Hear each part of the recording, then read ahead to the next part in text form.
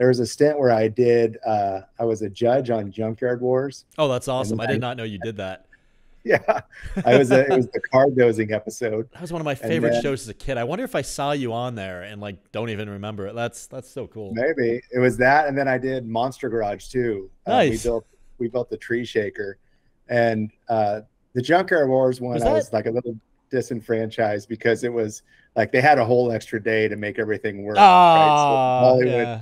Like things were kind of planted, right? They kind of had a plan ahead of time, and they kind of that kind of makes sense. Like the kind of shit they find in that junkyard. It's like there's no fucking way. Oh, like intact hydraulic cylinders on a garbage truck. Come on.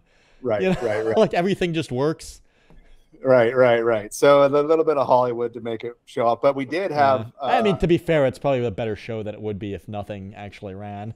oh yeah, absolutely. And, and in all fairness, like the so you have the build day, which is film. Then you have the second day to like try to prepare for the that's not film. So you try to film or get the, the vehicles enough or ready enough to try to make it through the trials that are going to be the next day and then the next day is the trial. Well, on our next day, the one team, the motor blew like first pass, right? Ah. And it was like, it was like a 350 or something, and it was down in like uh, Simi Valley somewhere. There's a ton of junkyards, and so literally just started calling around, found an old 350, and you know.